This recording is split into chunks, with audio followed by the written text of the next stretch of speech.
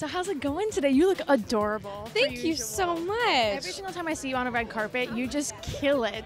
Do you style yourself or do you usually have someone else do it for you? Or if you do style yourself, what tips do you put into your own look? Well, I do have some amazing stylists that do help me out a lot, pick out my outfits, but um, occasionally I do pick out my own stuff. And I think my style tip is find your style and just kind of go with it, roll with it, you know, like really find it and go for it, yeah. And especially growing up, you know, in the industry and everything, what's probably the, the number one thing that you've had to learn at such a young age? I think that um, I've learned with I learned about rejection a lot in this industry. You know, you go on like hundred auditions and maybe get one. Yeah. But um, I think it's maybe a lot stronger and. You know, it's not that big of a deal anymore. Yeah. And I just learn from every opportunity and, you know, embrace it. Yeah, absolutely. Learning, living, learning, loving. Yeah, exactly. And every minute of it. And for young, other young girls coming up in the industry, what advice would you give to them?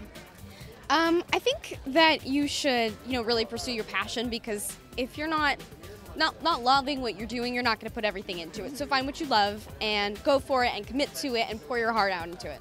Give it your all, you guys. Listen to her. Well, thank you so much for talking. Thank Listen, you. have such an amazing time. Thank you. Thank you. You too. Thank you.